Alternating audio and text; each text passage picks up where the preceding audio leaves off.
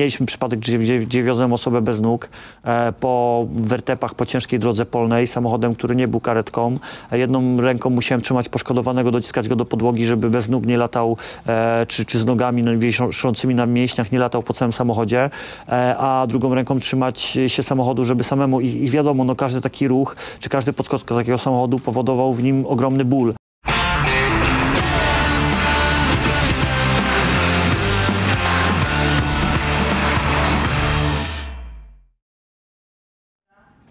Dzień dobry, witam Państwa jak zawsze z serca redakcji Super Expressu. Ja się nazywam Jan Złotorowicz i to jest mój raport. Specjalne zupełnie wydanie raportu, ale też gość specjalny, chociaż zawsze staramy się mieć dla Państwa ważnych i wyjątkowych gości, ale to jest taka rozmowa, na którą Chciałem powiedzieć, cieszę się, no, może to złe słowo, bo będzie to ciężka dla mnie i dla Państwa rozmowa, ale bardzo się cieszę, że przyjechał do Państwa, jest Państwa tak naprawdę, a nie moim gościem, Damian Duda, szef Ochotniczego Zespołu Medyków Pola Walki w międzyczasie.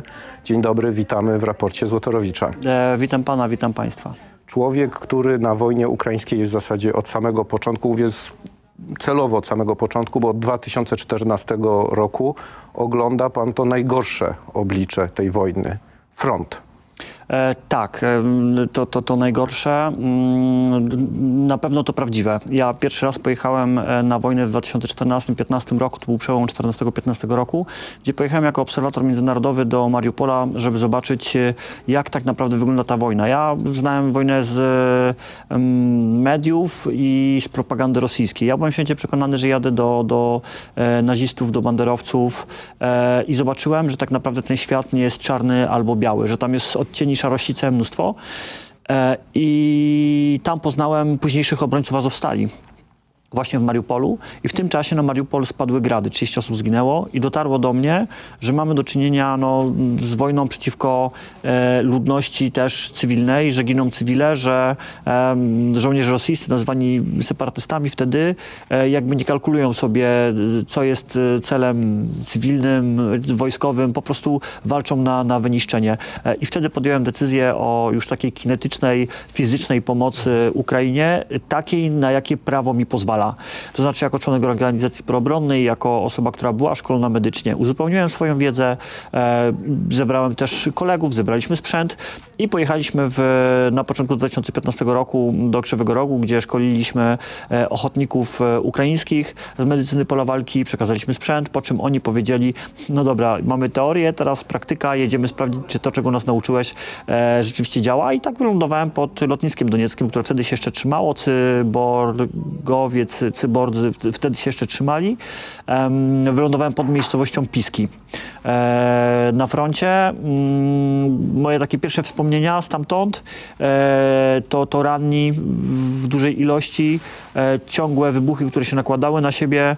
Gdyby były szyby, a nie było ich, bo jakby wypadało od wybuchów, to myślę, że mm, trząsące się szyby trzęsłyby się 24 godziny na dobę z tytułu nakładającego się na siebie huku bezpośrednio. I, I to były pierwsze pierwsze obrazki frontowe, które ja wtedy zapamiętałem. E, ja do samego końca nie wiedziałem, jak ja się zachowam w tej, że tak powiem, godzinie próby poligony poligonami, szkolenia szkoleniami, e, natomiast jakby do, do pierwszego rannego, do pierwszej takiej sytuacji nie wiedziałem, jak zareaguje moja psychika.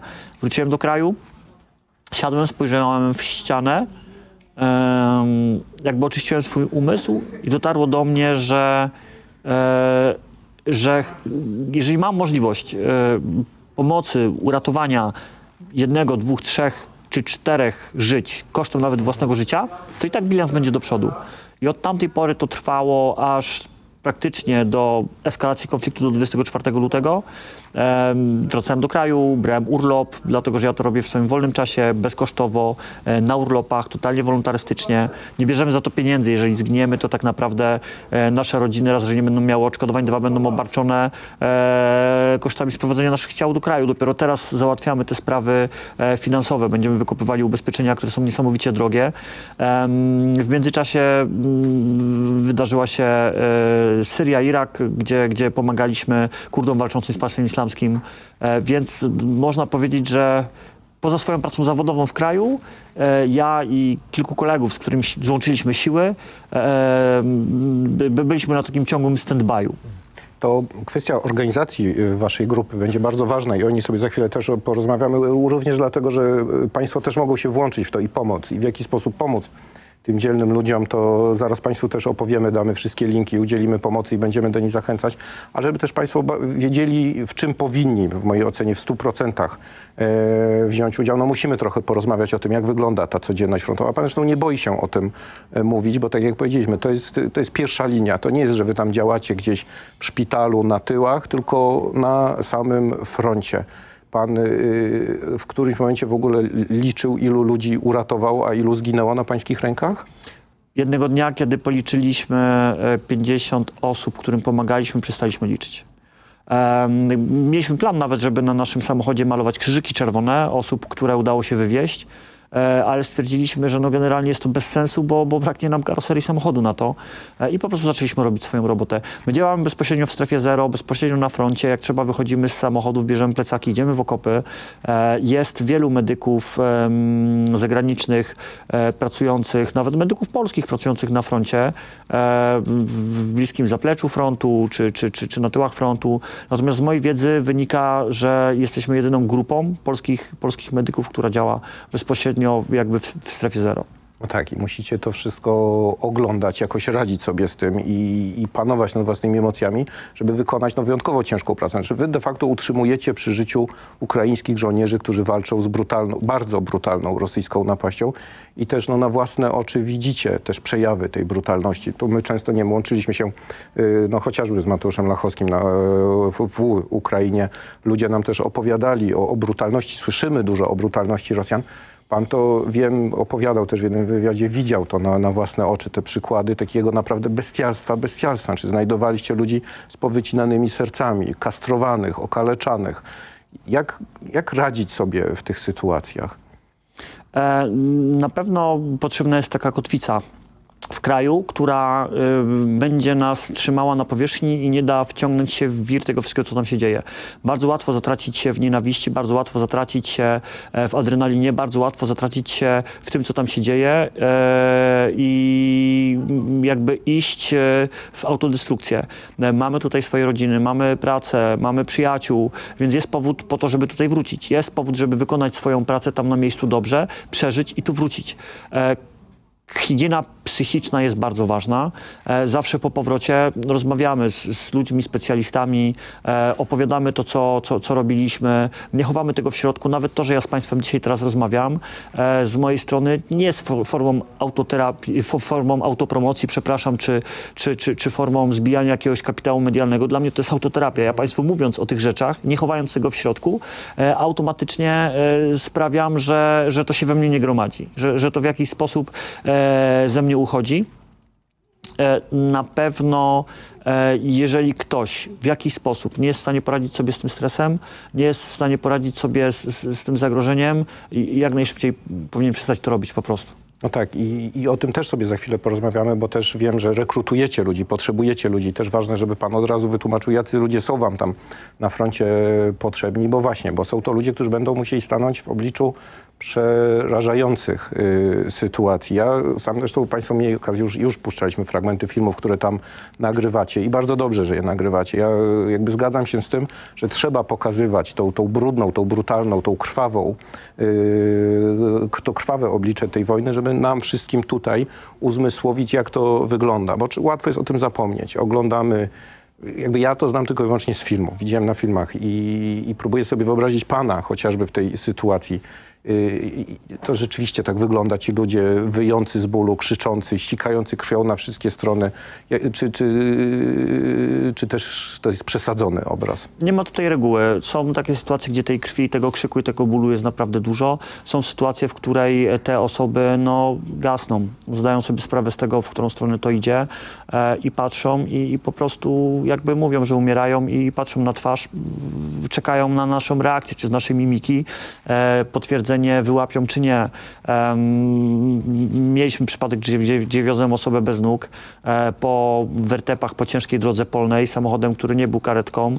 E, Jedną ręką musiałem trzymać poszkodowanego, dociskać go do podłogi, żeby bez nóg nie latał, e, czy, czy z nogami no, wiszącymi na mięśniach nie latał po całym samochodzie, a drugą ręką trzymać się samochodu, żeby samemu, i, i wiadomo, no każdy taki ruch, czy każdy podskok takiego samochodu powodował w nim ogromny ból i krzyk. W tym krzyku trzeba było działać, uspokajać go.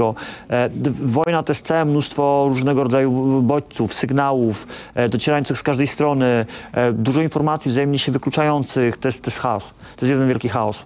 Żadne szkolenie, żaden poligon nie da takiej ilości bodźców czy, czy informacji, jakie daje no, normalne, realne pole walki. No nawet ktoś tak silny i odważny jak pan, no jakoś musi sobie z tym y, radzić. Czegoś, nie wiem, na przykład blokuje, nie zapamiętuje tych twarzy, tych, tych, tych ludzi, których się ratował. Czy pytam o to, bo ciekaw jestem, czy na przykład zdarzały się panu sytuacje, że pan ratował jakiegoś żołnierza i potem znowu spotykał go na froncie? E, Ja, ja nie jestem bohaterem, nie, nie, nie jestem silny, nie jestem, nie jestem osobą, która ma jakieś większe predyspozycje niż pozostali. E, Cieszę się, że mogę robić dalej to, co robię, że ta moja wytrzymałość na razie jeszcze nie pękła. Natomiast jakby liczymy się z tym, że może przyjść taki dzień, że wydarzy się coś, e, co w jakiś sposób nas e, zblokuje. Z chwilą, kiedy piorun uderzył w Giewont, e, tak się okazało, że byłem pierwszą osobą na miejscu zdarzenia. E, przez moje ręce przyszło go 60 osób i jako osoba, która całe życie chodziła po górach, jako osoba, która góry, w górach odpoczywała, w, górach widziała, że tak powiem, e, w, w, same dobre rzeczy. Teraz za każdym razem, jak idę w góry, e, widzę kosodrzewinę i ta kosodrzewina od razu przypomina mi tą sytuację.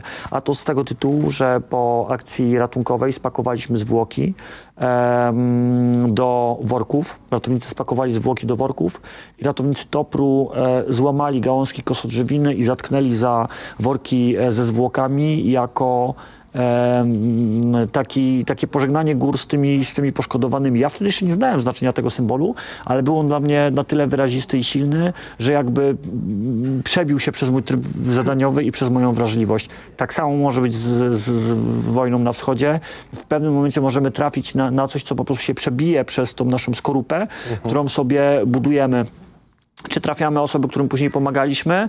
Raczej nie, natomiast e, bardzo często trafiają do nas informacje, e, co z tymi ludźmi dalej jest. E, jedna osoba bez nóg, którą wiozłem, ta, o której opowiadałem, widziałem nagranie, gdzie opowiadała, że nie ma nóg, ale będzie miała protezy, już planuje bieg w maratonie bostońskim, co dla mnie osobiście jest niesamowitym sukcesem, że ta osoba jakby dalej, dalej będzie realizowała swoje życie. E, Inny przypadek, gdzie e, ludzi, których się trafiało, z którymi się rozmawiało, w pewnym momencie widujesz ich jakby z poziomu, e, z, z- poziomu ratującego. Przywieźli poszkodowanego e, i w, w pewnym momencie ten poszkodowany się uśmiecha i mówi, no przecież my się znamy, widzieliśmy się dwa dni. E, I gość, z którym jadłeś śniadanie, rozmawiałeś, nie wiem, piłeś kawę, który ci opowiadał o swojej rodzinie, w tym momencie walczy o życie, e, mimo to jakby uśmiechając się do ciebie, bo, bo pamiętacie, tak, że te dwa, trzy dni temu rozmawialiście. Bardzo dużo takich sytuacji jest, bardzo dużo, takich sytuacji e, ma miejsce. No tak, i wy też jako ratownicy nie tylko ratujecie życie Ukraińców, ale sami też jesteście ciągle pod ostrzałem, jesteście też ciągle celem e, ataku. No wasz samochód został w zasadzie ledwo co przez Rosjan e, ostrzelany. E, tak, generalnie jakby nie, nie ujmuję tutaj e, bohaterstwa innym medykom, którzy działają na, na wschodzie, dlatego że cała Ukraina jest strefą wojny, nie wiadomo gdzie spadną rakiety. Ja nie pytam o to nawet po to, żeby teraz gdzieś pompować to i tak dalej, tylko bardziej y, jakby y, ja znowu jako laik, jakby gdzieś mam z tyłu głowy, że no, ratownik medyczny czy Czerwony Krzyż, no to powinien być sygnał, że tych rzeczy się nie atakuje, ale Rosjanie nie respektują tego typu Nie, nie, układów. generalnie żadne prawo humanitarne konfliktów e, zbrojnych e, międzynarodowe nie działa. Nigdy nie działało e, i, i zawsze to były normy zamknięte tylko i wyłącznie na, na kartkach papieru. To było czcze pobożne życzenie. E, przynajmniej po stronie rosyjskiej tego nie ma. E, jeżeli chodzi o nas, e, w naszą stronę leci wszystko. E, Bardzo często zdarza się tak, że y, my też wjeżdżamy w strefy rosyjskie, nie wiedząc o tym. Soledar, w którym pracowaliśmy, to były walki miejskie. Po powrocie dowiedzieliśmy się, że wjeżdżaliśmy w ulicę, która była pod kontrolą rosyjską i, i, i chłopaki byli mocno zdziwieni, że w ogóle udało nam się stamtąd wyjechać. E, więc, więc, więc wojna, wojna, jakby pierwsza linia, ta strefa zero, e, to jest jak pływanie w basenie między rekinami. I, I nigdy nie wiesz, w którym momencie ten konkretny rekin cię, cię ugryzie po prostu. No tak, jeszcze dodatkowo przez fakt, że jesteście y, Polakami, no to czyni was w pewnym sensie, y, szczególnie no też wiemy, jak bardzo propaganda rosyjska grzeje tym, że Polacy, i co Polacy robią zdaniem propagandy rosyjskiej y, na Ukrainie. Już pomijam to, że opowiadają o tym, że chcemy zająć Ukrainę i uczynić z Ukrainy część Rzeczpospolitej, ale też dowiedziałem się, ja jak zbierałem na temat y, waszej działalności informacji, to z kolei od Rosjan dowiedziałem się, że w ogóle kradniecie organy, handlujecie tymi organami i w ogóle jesteście okropnymi jakimiś takimi bestiami żerującymi tam na tym polu walki. Na Ukrainie żołnierze mm, dostają e, ksywki, e, pseudonimy, imiona.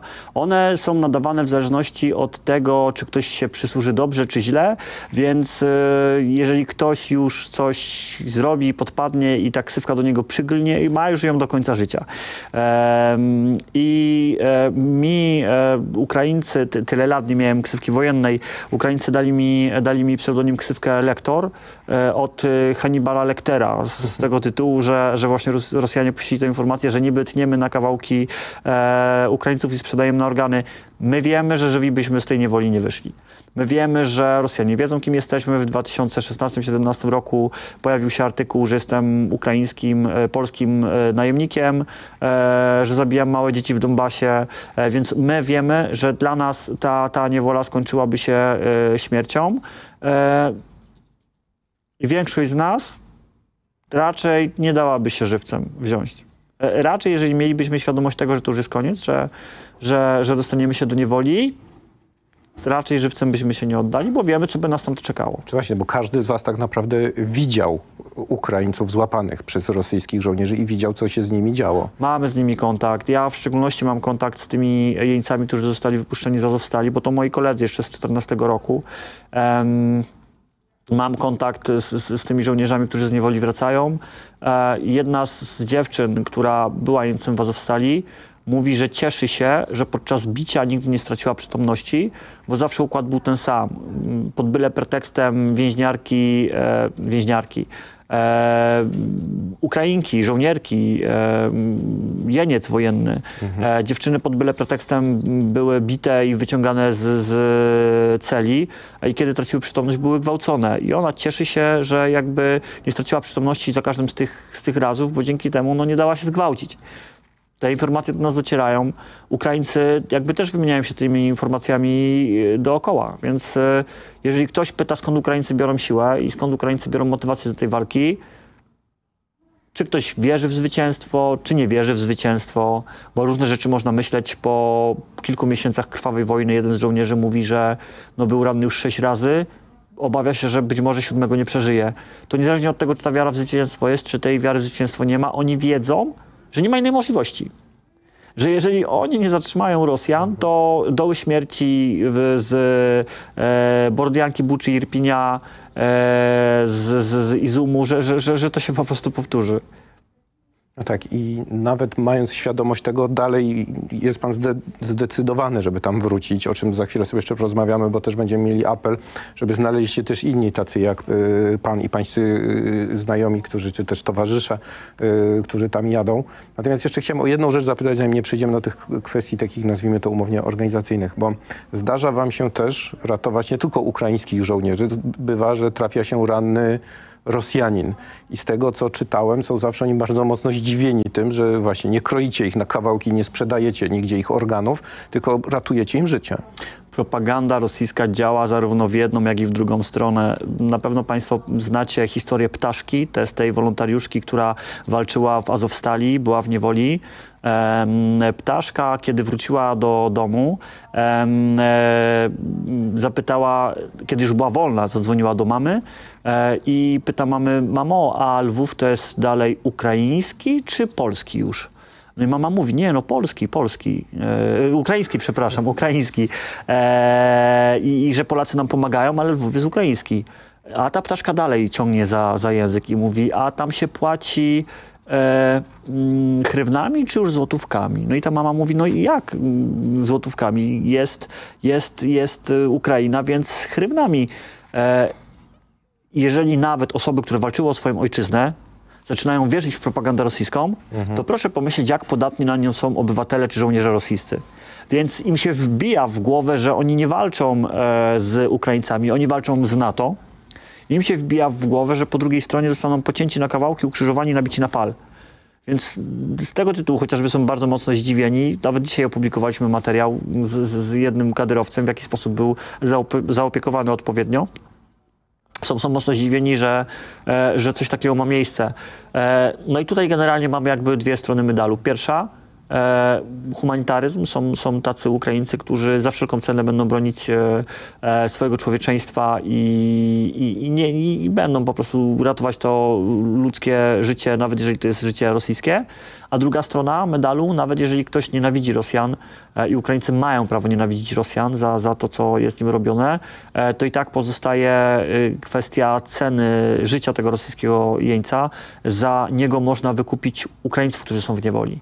Dużo chłopaków czeka na wymianę, dużo chłopaków jest tam w warunkach nieludzkich, pod bardzo dużym obciążeniem psychicznym, fizycznym, czekają na to, aż w końcu znajdą się w swoich domach i każdy taki jeniec rosyjski jest po prostu walutą, za którą będzie można kupić jeńców ukraińskich. No tak, i, i zapewne w drugą stronę to już tak nie działa. E, czasami tak, czasami nie. E, bardzo często się to tak odbywa, że na przykład grupa Wagnera, która jest e, przez Rosjan, mówimy tu o tych kontraktowych Wagnerowcach, nie o na szybko rekrutowanych w więzieniach, e, są na tyle mocno cenieni w Rosji, że nawet ich zwłoki wymienia się na żywych Ukraińców. E, I w drugą stronę Ukraińcy mają respekt przed Wagnerowcami. Mają respekt przed nimi, uznają ich za bardzo dobrych wojowników, choć bezlitosnych i krwawych. Zdarza się, że Wagnerowcy w nocy bez ani jednego wystrzału wchodzą w okopy i wyżynają Ukraińców, zabierając jednego czy dwóch jako, jako język, jako źródło informacji. E, Więc mamy tutaj do czynienia z bardzo krwawą, krwawą i bezpośrednią wojną. No tak, i na tej krwawej, bezpośredniej wojnie no też słyszeliśmy ciągle. No, ostatnio zresztą generał Szojgu zapowiedział, że będą jeszcze bardziej zwiększać liczebność e, rosyjskiej armii. No mają olbrzymie zapasy rekruta, który jeszcze mogą pchnąć i też z pańskich doświadczeń wynika, że nie liczą się w ogóle z życiem swoich żołnierzy Rosjanie. Nie liczą się z życiem swoich żołnierzy. Najczęściej to się odbywa tak, że rzucane są kolejne fale e, albo zeków, czyli byłych więźniów, e, albo e, mobilizowanych Rosjan. Są rzucani bardzo często bez hełmów, kamizelek z jednym magazynkiem, e, tylko po to, żeby Ukraińcy mogli do nich e, strzelać i po to, żeby można było wskazać punkty em, broni wsparcia, punkty e, jakieś tam e, z większą siłą ognia. E, wtedy, kiedy to mięso armatnie zostanie wycięte przez, przez Ukraińców, idą już dobre oddziały rosyjskie, które mają wiedzę i świadomość, gdzie iść. Wiedzą, że tutaj i tutaj są takie środki ogniowe, trzeba ich oflankować, czy, e, czy zdobyć w taki, a nie w inny sposób te umocnienia. Bardzo często w nocy puszcza się mobilizowanych e, z czołówkami. Oni idą do ataku z czołówkami. Nie wierzę, nie wierzę, że człowiek posiadający elementarną e, wiedzę na temat tego, czy się jest widocznym, czy się nie jest widoczny z czołówką na głowie, zrobiłby to dobrowolnie. W związku z tym ktoś ich do tego musi zmuszać. E, więc no niestety taktyka rosyjska od wielu lat się nie zmieniła. Zalać falą ludzi. No tak, a Ukraińcy niestety nie mają tego komfortu, żeby by- być w stanie aż tak bardzo uzupełniać. No nie ma aż tylu rekrutów po stronie ukraińskiej, dlatego wasza praca jest tak ważna, dlatego jest tak istotna, żeby jak najwięcej tych żołnierzy utrzymać przy życiu, żeby jak najwięcej z nich było w stanie utrzymać się na tym froncie, walczyć. Pan sam opowiadał, że ten pierwszy wyjazd organizowaliście trochę tak na szybko, bez y, odpowiedniej koordynacji, że de facto pan, będąc tam przez ostatnich kilka miesięcy, nie był ubezpieczony. Y, Gdyby zginął, rodzina sama musiałaby się trącić, że zakładam, zakładam, że pewnie Państwo i tak czy inaczej rozeszłoby się to na tyle szerokim echem, że jednak pewnie jakaś pomoc zostałaby udzielona, ale formalnie nie ma Pan żadnej. Dlatego, jak rozumiem teraz, chce Pan to lepiej zorganizować, jednak lepiej zabezpieczyć tych ludzi, którzy tam pojadą, no ale do tego potrzebne są pieniądze. Jesteśmy na etapie formalizowania naszej grupy. E, najprawdopodobniej e, sformalizujemy w, w postaci jakiegoś e, NGO, e, który będzie mógł nas ubezpieczyć, który będzie mógł nas wspierać z chwilą, kiedy tam będziemy. E, to jest kwestia też odpowiednich pojazdów. Nasz pojazd, który został strzelany, nie był. E, no nie było pancerzony, dzięki Bogu nikogo w nim wtedy nie było. E, ch- chcemy doposażyć się właśnie w ten niezbędny sprzęt. E, potrzeby są bardzo duże. Każda grupa taka, która działa, dwóch, trzech ludzi, to jest kwestia załatwienia całej logistyki, ubezpieczenia plecaków medycznych, sprzętu medycznego, kwestia wyżywienia, dojazdu, paliwa. To jest, to jest ogromny wysiłek finansowy, ale na szczęście dzięki wsparciu wielu dobrych ludzi, na szczęście dzięki wsparciu osób, które nam pomagają e, z zakupem chociażby tych samochodów e, Exen, czy grupa 4 e, na 4 e, G7, e, offroadowcy, e, Terenwizja, no jest dużo ludzi i dobrej woli, którzy na szczęście dają nam te skrzydła, którymi możemy latać. I też prowadzicie zbiórkę pieniędzy. My link do tej zbiórki zaraz Państwu wrzucimy. On też będzie w komentarzach, yy, w opisie do filmu. Będziemy go Wam tu cały czas podpowiadać i podrzucać, wskazywać, jak pomóc. Bo tak na dobrą sprawę liczy się każda złotówka, którą jesteście w stanie zebrać, a też ci z Państwa, którzy nie są w stanie zebrać, to po prostu dystrybuujcie to dalej, rozsyłajcie do znajomych, gdziekolwiek się tylko da. Im więcej ludzi dostanie ten link, tym większa szansa, że się zbierze, bo pieniądze będą kluczowe. Ale oprócz pieniędzy też no, szuka pan ludzi, którzy tak jak pan są w stanie tam e, pojechać, co nie jest wcale takie proste, nie dlatego, że ludzie nie chcą, tylko ktoś, kto tam miałby pojechać, musi spełniać no, szereg bardzo określonych kwalifikacji. Ludzie muszą mieć świadomość tego, mm, że jest trochę jak w tym wierszu. To znaczy, że świat śpi spokojnie i nie wie, że na wojnie nie jest jak w żołnierskim śpiewie. Romantyzm wojny kończy się z chwilą, kiedy ktoś wląduje na niej, kiedy widzi e, osobę bez kończyn, widzi ból, widzi cierpienie e, i osoby, które zgłaszają się do nas nie zawsze mają tego świadomość. Musimy wyłuskać takie osoby, które zdają sobie sprawę z tego, że mogą jechać w miejsce, z którego nie wrócą. E, Natomiast jeżeli, więc przede wszystkim potrzebujemy osoby z wiedzą medyczną i z wiedzą taktyczną, to znaczy e, potrafią poruszać się w środowisku walki, które jest bardzo specy- specyficznym środowiskiem i mają doświadczenie bojowe. W drugą stronę to też muszą być takie osoby, które no, zaznały tej wojsk, w- wojny, mają e, doświadczenie bojowe, e, ale ich psychika dalej jest na tyle mocna i nie została zmieniona, że mogą dalej z nami pracować. Oczywiście jest też możliwość wsparcia nas poprzez wspólną pracę w kraju, działania humanitarne, em, wspomaganie nas tutaj w zbieraniu humanitarki, wspomaganie naszego centrum szkolenia, e, lekarzy, pielęgniarki czy ratownicy medyczni mogą nas wspierać poprzez pomoc w doszkolaniu nas, przekazywać nam naszą swoją wiedzę nam, którą my będziemy wykorzystywali tam.